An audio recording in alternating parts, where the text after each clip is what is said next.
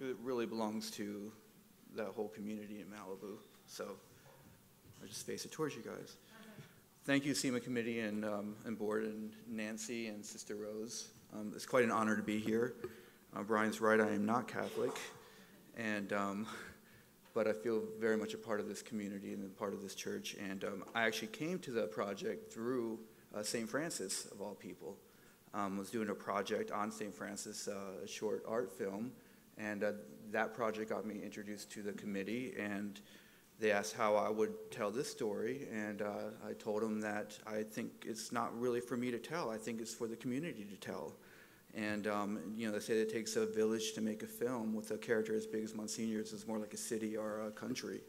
And uh, we really did go all over the country uh, doing interviews for people's lives that he had touched, because the story of Monsignor is a story of everybody and how he touched everybody. So um, we interviewed almost about 30 people from California, from Malibu, from downtown, from New York City, um, people that had connected with him in Ireland and they really told the story. I was just kind of given a little house in that village, and I'm very thankful for that. And I just did my part in bringing all these stories together. So I think the community, first and foremost, really needs to give themselves a round of applause because they took the time out of their busy schedules to come in and be interviewed.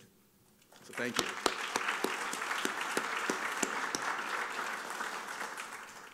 Um, the OLM board was, of course, Brian Oppenheimer, Jim Zadalokin, Bruta Vilyasis, and Paul Contino, who is not here. Um, they were instrumental in the whole project. Um, you know, we'd give, in film, everything's a process, and you're only as good as your producers in a lot of ways.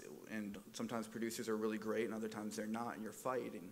And this is a situation where the producers were absolutely incredible and really empowered me as a filmmaker to go out there and, and realize this vision. So um, I don't know if you gentlemen and ladies want to stand, but I think that you should. Please.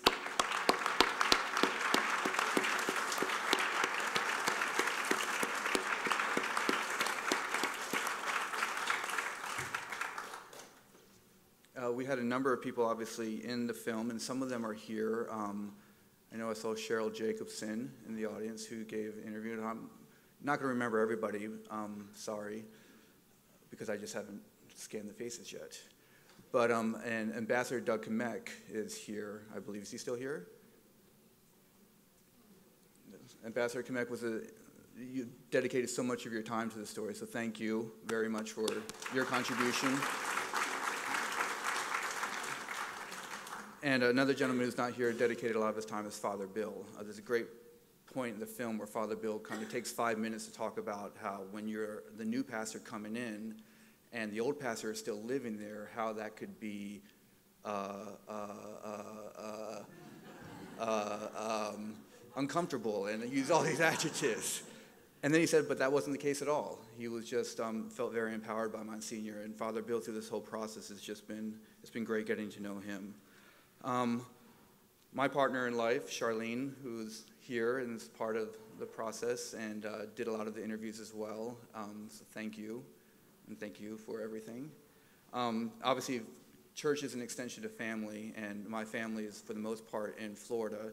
Uh, my sister was actually uh, co-wrote the script. My sister Morgan, who's not here because she has young, young babies, and um, couldn't come. But I want to thank my parents and my sister, and Charlene's mother is actually here from Florida. So, so thank you for coming. And thank you, everybody. Appreciate it.